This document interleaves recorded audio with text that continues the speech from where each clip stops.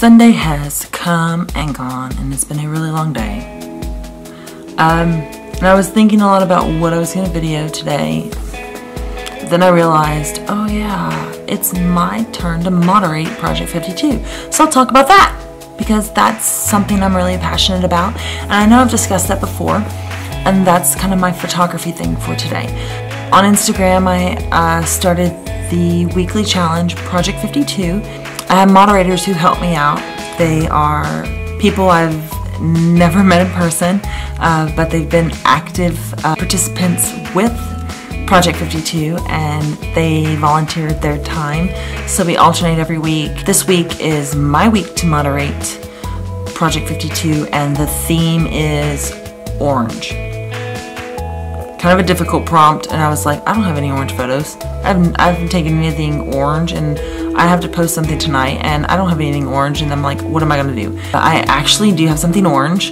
It was a photo I took in San Francisco this week in Chinatown. It's an iPhone photo on my trusty iPhone 6.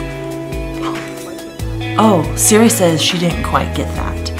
No wonder, because I don't either and I put it into Lightroom Mobile, did a quick couple quick edits, then put it into Snapseed, took out a lot of the saturation to more of a black and white photo, except for the orange parts and then some green, some um, just to highlight the orange really. Put it into another app, Font Candy, to add some text to it, uploaded it to Instagram, and there we have it.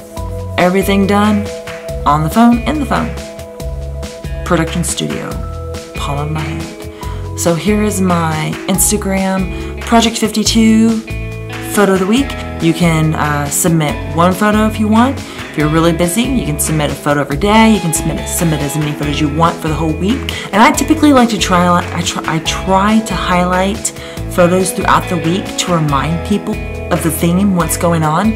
Uh, I get busy, I forget, but that way you kind of remember to be inspired. Next Sunday evening, I'll go through all the photos of everyone who has tagged, use the hashtag Project52, and I'll highlight and do a few shout outs of some of the ones that I find most interesting. Have a great night. See you tomorrow, Veda.